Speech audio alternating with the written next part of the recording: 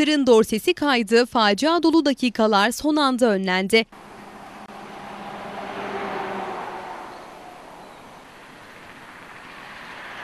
Korkutucu kaza Tem yolunun Bekildere rampası başlangıcı olan Kandıra turnikeleri yakınında meydana geldi.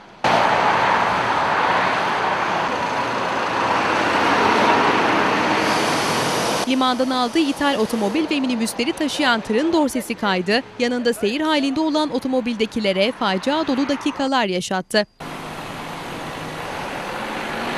Otomobil sürücüsü Mehmet Ustael kazayı hafif sıyrıklarla atlattı ancak eşiyle çocuğu o kadar şanslı değildi.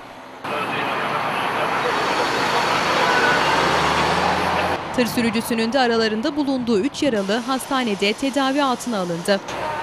Valla birden kaydı. Araba kaydı.